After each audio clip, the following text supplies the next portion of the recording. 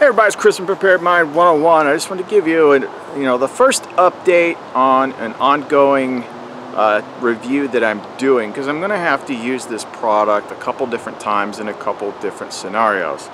But I used it this past weekend at, uh, you know, I didn't go to Blade Show. I went to a Boy Scout camp with my son instead. And this was my first time to actually get a chance to use this thing. And let me tell you something. I'm just I'm going to cut right to it. I don't want to hear any stuff about, oh, too expensive. What I want to hear is, thank you, sir, for letting us know. I will start saving my money immediately. Thank you. Okay, it's come to my attention that sometimes my style of humor kind of goes over people's heads, so I'm joking.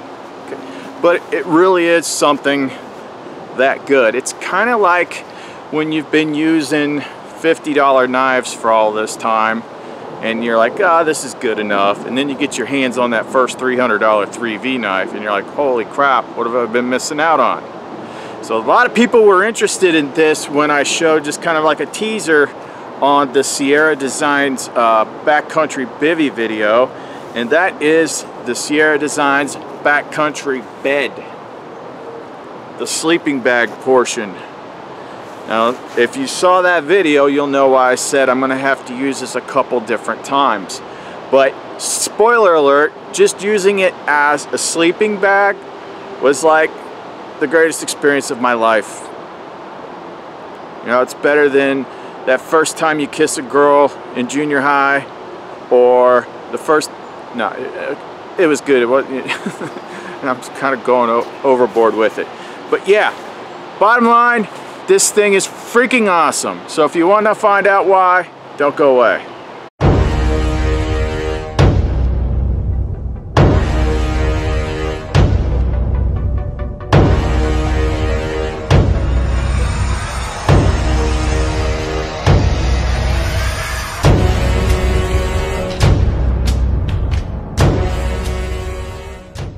Now I'm going to do like I did in that other video uh, which I did that as kind of like the teaser to this, but for people wanting product information, uh, it, they did a couple really short videos on the different stuff, so I want to go ahead and throw that in here now first, let you see it, because then you'll see all the details and much more professional than my dumbass can do, and then I'll break it out and give it to you straight as far as what I experienced with it.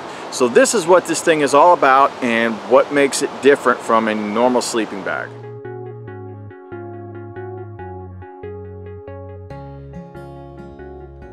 I think the first thing you notice about the backcountry bed is it's completely different from anything you've ever seen before. What makes the backcountry bed really unique is there's no zippers, there's no toggles, there's no Velcro, cords, any of that kind of stuff. We like to think of it as, as just pure comfort.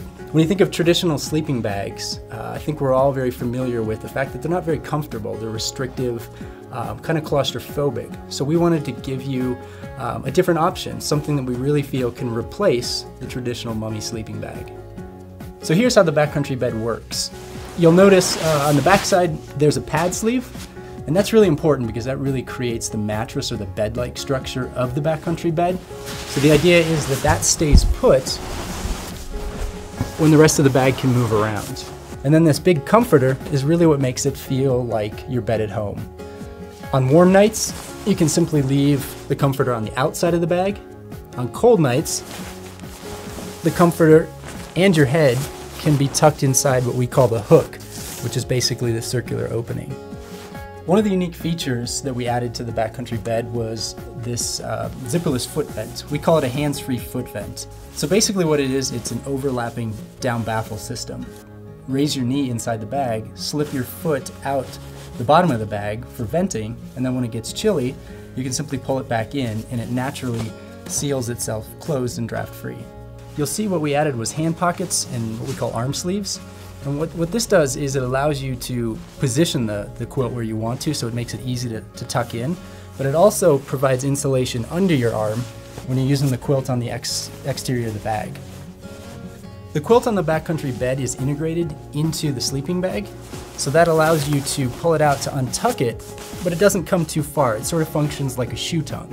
So when you go to tuck this in, the bottom portion of the quilt follows so that you don't have any kind of draft issues. Think of all those uncomfortable nights you've had in that traditional mummy sleeping bag.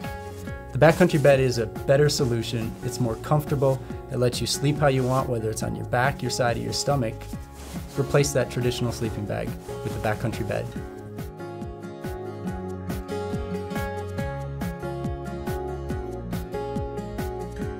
So before I move the camera over here and show it, I just laid it out here.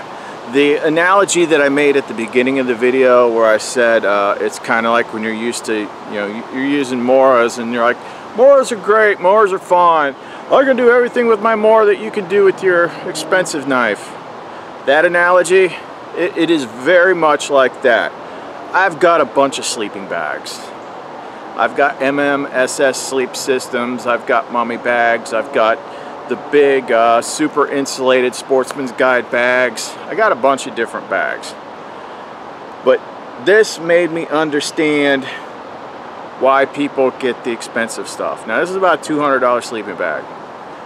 If you don't need it, you don't need it. It's okay. It's all right. It's okay. It's okay.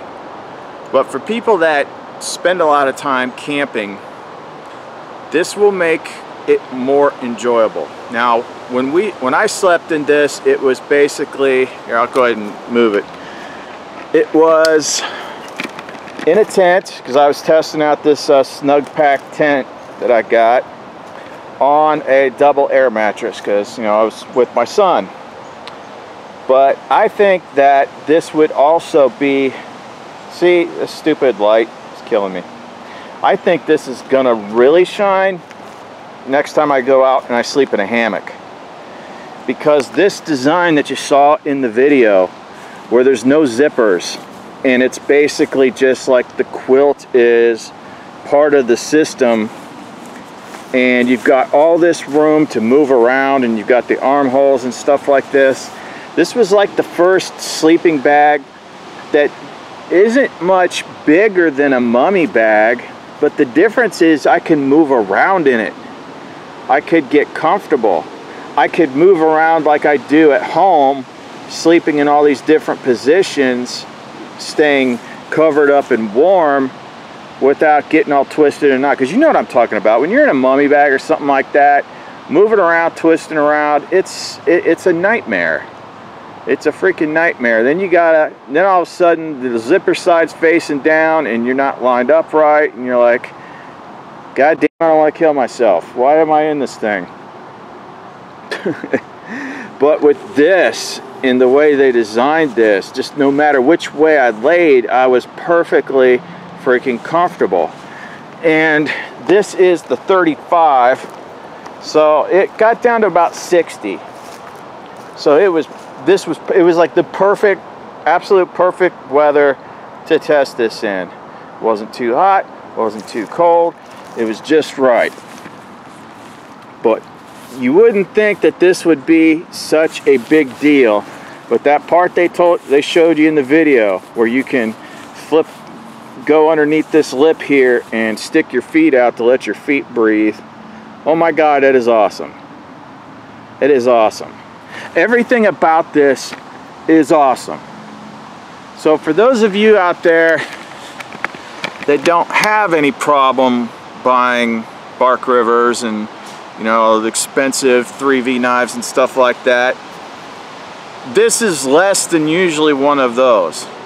So average you know 3V knife we're talking what 250 260 depends. So this thing's about 200 bucks and if you go camping I mean let me, let me put it to you this way for this bag, I feel like I should make a different list, a list higher than the Jessica list. Does that say enough? Does that say how much I freaking like this bag? Uh, yeah, it's about as excited as I was in the uh, in that uh, Fobos knife video. It's just so freaking comfortable.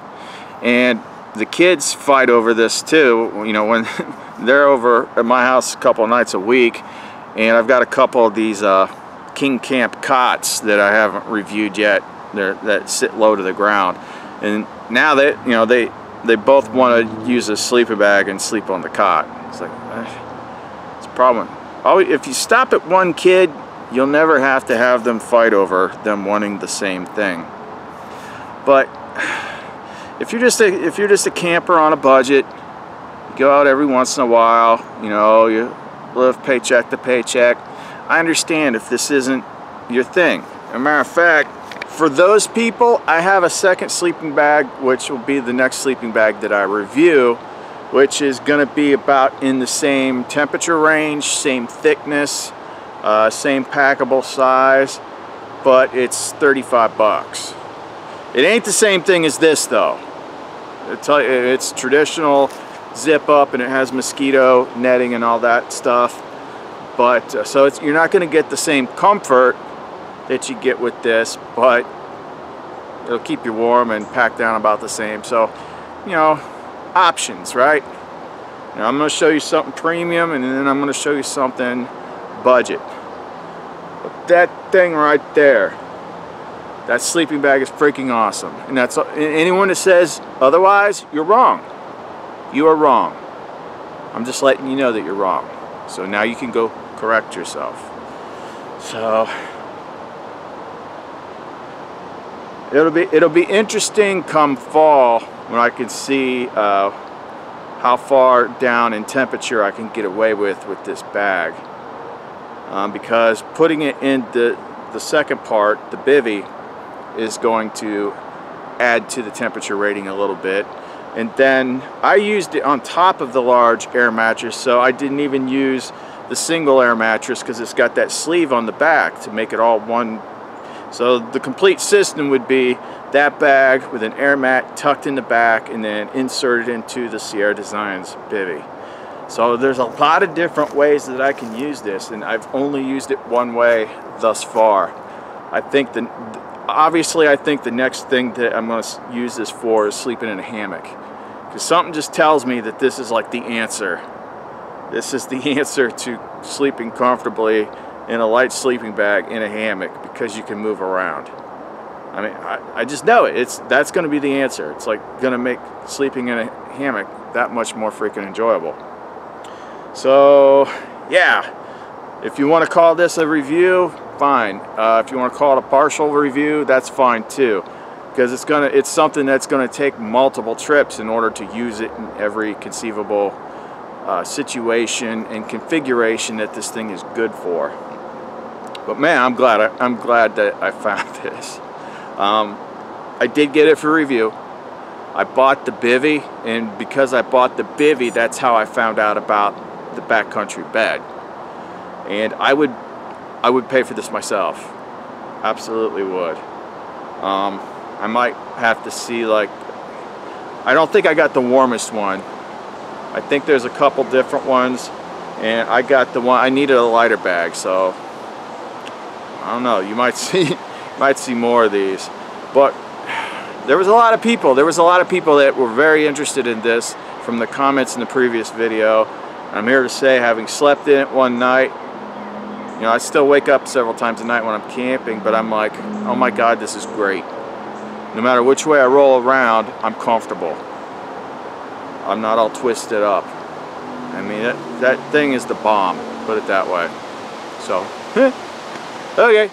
So that's the first part. Uh, other than that, I mean, it's not like an action-packed thing. It's like, yes, I did actually go camping. Yes, I did actually use it. It's really hard to do videos with a bunch of Boy Scouts running around screaming.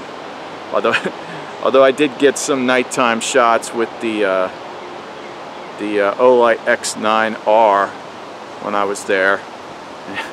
People were saying, I thought a UFO was landing in the freaking ravine. It's that big giant Olight.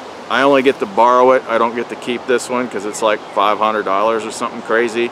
But yeah, let's talk about fun. It's fun. So there you go. Uh, you, everyone kept kept asking me, what do you think of this thing? I think it's awesome. I think it's freaking awesome. So Chris from Prepared Mind 101, thanks for watching. Be sure to click like, share, and subscribe. Uh, I'll find links to this uh, on online. I don't know if Amazon sells them or not, honestly. Uh, but I'll find some, I'll, I'll try to find the best price links for this and I'll put them in the description box below if you're interested. And if you didn't see the previous video, which was the Sierra Designs Backcountry Bivy, which is the outer part, uh, definitely check that out as well. Uh, be sure to click like, share, and subscribe, and all the links that help support the channel because I don't do Patreon or anything like that. All the links that support the channel are in the description box below. All right, guys, I'll be back with another video here soon, so see you then.